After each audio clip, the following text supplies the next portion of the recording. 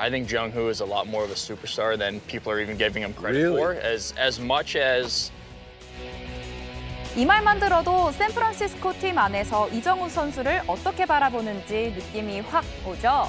오늘도 안타 추가, 다섯 경기 연속 안타입니다. 물론 시범 경기라 이걸로 속단할 순 없지만 동료들에겐 확신을 심어주고 있습니다.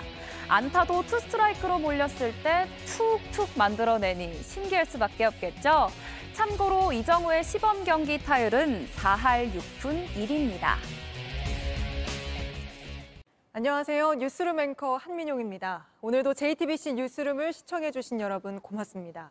오늘 저녁에도 뉴스의 현장에서 찾아뵙겠습니다.